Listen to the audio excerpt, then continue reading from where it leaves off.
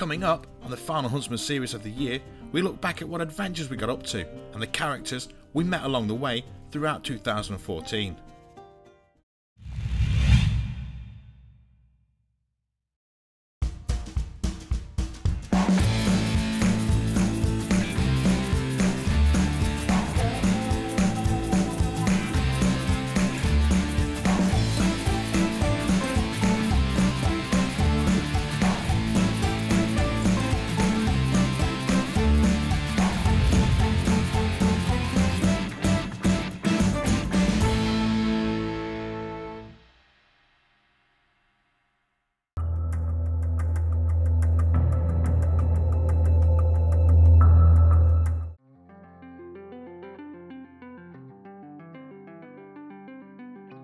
The Isuzu D-Max Huntsman has been the vehicle of choice for several key international hunting adventures over the last two years here at Team TV, and this year was no different.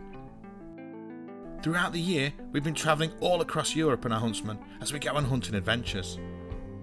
Our journey began when we went to one of our favourite destinations, Hungary.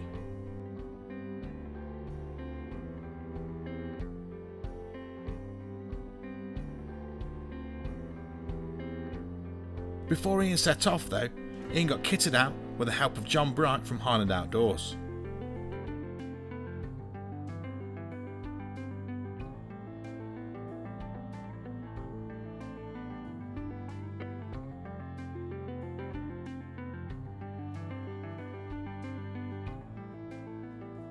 And then tests his new gear out with his rifle of choice on the range.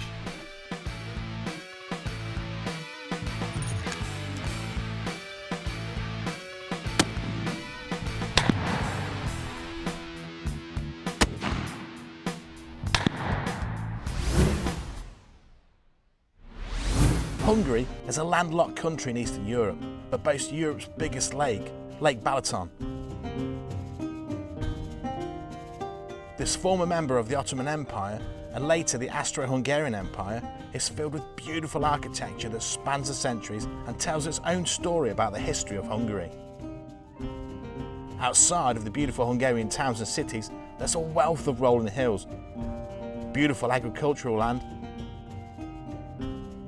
plenty of areas rich with game and ideal for hunting. No wonder Hungary is a hunter's ideal location.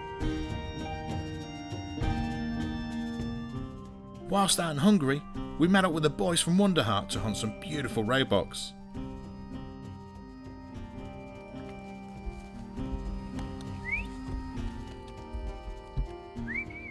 But the roe aren't hanging around.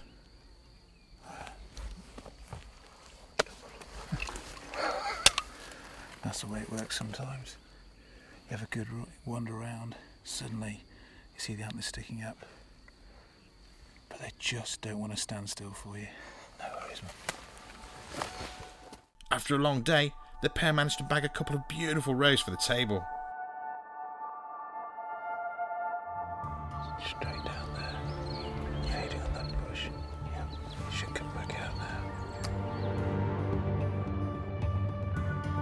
Readies himself. And a good clean shot ensures that the roe is down. Wow. Now that was intense. Now, we put a lot of time in this afternoon. This is an absolutely fabulous estate. It's my first time here, so getting a, a good feel for the area, the vegetation, the the land. There's some beautiful terracing out here, obviously from uh, previous um, agricultural days. But the game here is rich and plentiful. As the guys head back towards the huntsman on foot, a second buck presents itself. within the space of I don't know 45 minutes got out the seat from the first buck uh, just heading back uh, to get into the trucks and then head back and then we see this another small young buck kind of popping its head up in about 150 160 yards uh, unfortunately only gave us uh, as you can see a full frontal shot but you know I'm pretty steady at those distances and the 300 Win Mag we already know has penetration so there's absolutely no shortage of ven- venison on this trip. Really pleased with the shot, really pleased with the performance of the Nikko Stirling Diamond. Uh, illuminated, uh, 12 mag, plenty of magnification for these sorts of distances. We haven't really been able to test its light gathering capabilities today. That'll probably happen in the morning. But so far, two shots, two deer, and we're ready for a beer, I think.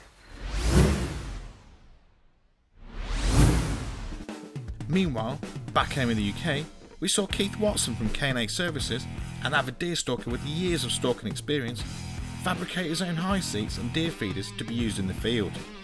I'm going to finish that off. Um, we're going to load as many as we can into these Isuzu Huntsmen and the next time you'll see them they'll be being uh, put out in, into position. Once the locations have been marked, Keith and Ian set out to the different locations and find a suitable tree to erect the high seat on.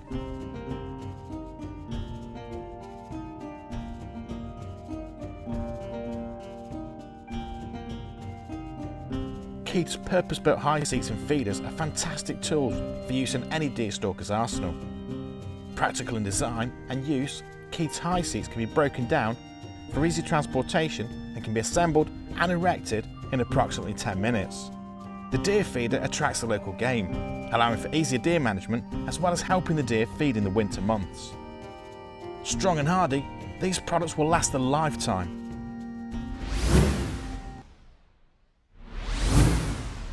Keith then took our resident chef Kayak Bryn out in Oxfordshire to hunt some deer. I'm Kayak Bryn, director of the Wild Food Catering Company, and I've been shooting deer now for, for, for a few years. But being here with Keith, he's going to pass on some of his experience to me, and hopefully I'll learn a thing or two today of what we're going to see. That's the plan anyway, isn't it? We hope so, we hope Yeah, so. we hope so. Kai gets set in one of Keith's high seats, and the pair wait patiently. Their patience pays dividends as a nice muntjac buck wanders cautiously across the ride. Unfortunately, the buck is too nice and is possibly a medal. As the guys are here looking to take a buck for the cull box, they let him walk on. Right deer, wrong day. Although they saw a lot of activity in the woods, none presented them with a shot.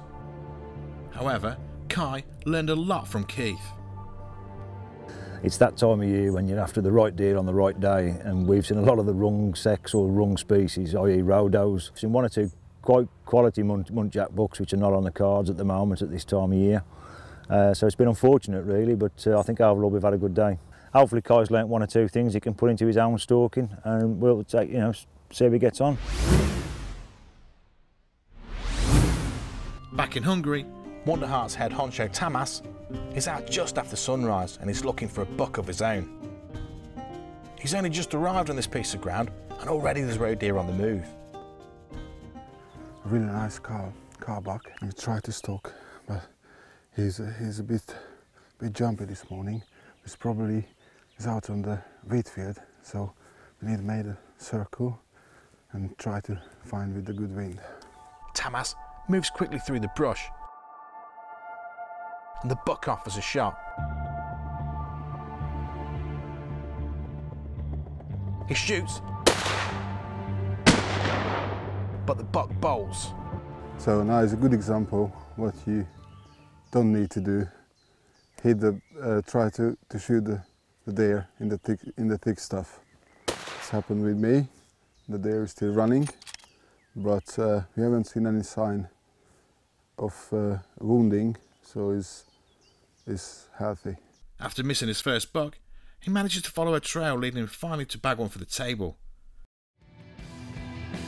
Tamas has the buck in his sights.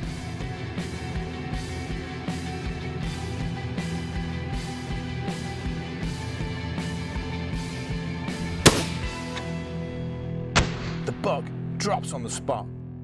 Four of the roe does make a dash through the vegetation. Right, the, the buck is in the bag. Uh, we spotted in the middle of the field. He was surrounded by uh, does. It's always difficult to, to, to shoot a good age buck because he's always, always with, uh, with uh, some guard. Zoltan congratulates Tamas and they share a traditional Hungarian show of appreciation for the fallen game. Meanwhile, Keith then took us back to his workshop and showed us how to prepare a trophy. He went through the entire process from skinning the head to bleaching the skull.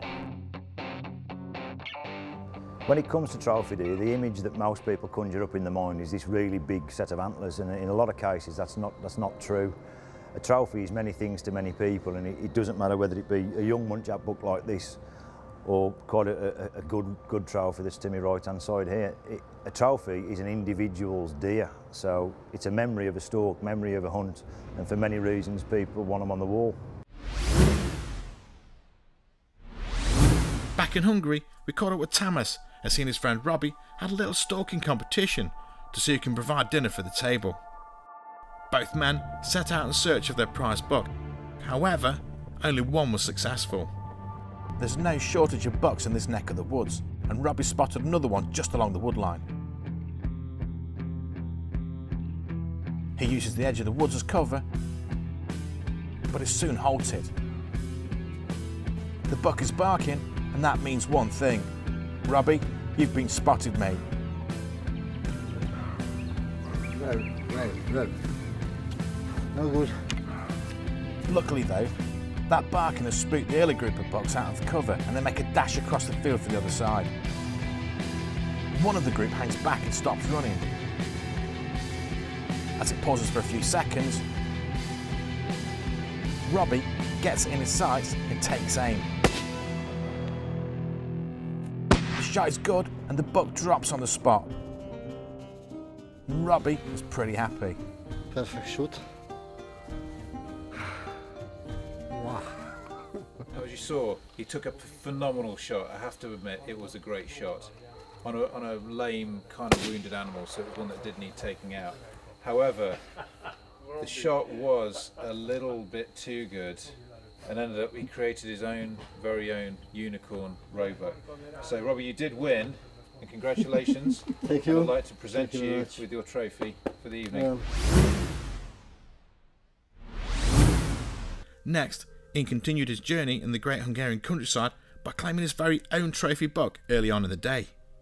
Now, as we saw him a little while as we were stalking along, stood there with a couple of uh, does, nice and peaceful, nice and relaxed over here. He could see us and he kind of skipped over the ditch and then just moved on to what he thought uh, was was a safe distance. But unfortunately, with 300 Win Mag and 170 grain Lapua Naturalis, that ain't far enough. So really, really pleased. It's still early in the morning. We've still got an opportunity of going out and harvesting a couple more. But to begin with, this is an absolute stunning buck. But this is some of the most exciting and most exhilarating hunting that there exists, certainly in deer stalking. So, what can I say? Beautiful landscape, phenomenal scenery, loads of animals. We've just got to be right on the ball. Ian gets a still a predator onto his sticks. There's three roe deer on the edge of the crops heading towards the maize. If they get into that crop, they'll disappear and the chance will have passed.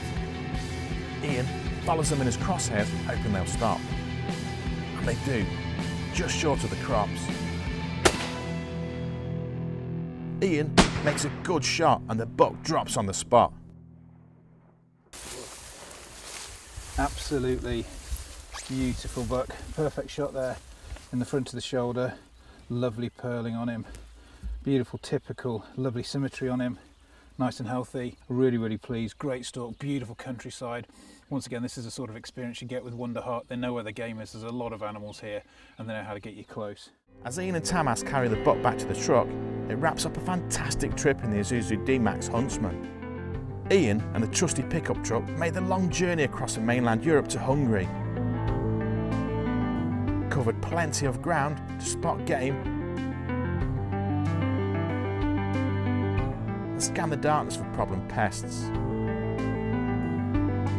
Both Ian and the Huntsman have been reliable when it's counted.